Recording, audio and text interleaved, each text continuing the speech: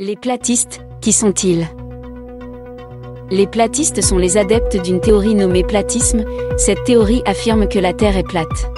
Selon cette communauté, la science et la technologie moderne nous trompent, ils essaient donc de nous expliquer le monde par d'autres méthodes.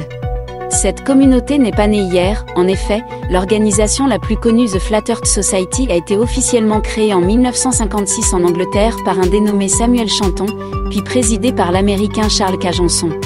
Aux USA, non moins de 16% de la population pense que la Terre n'est pas ovale, au Brésil, ils sont 7%, ces théories sont surtout élaborées sur Internet.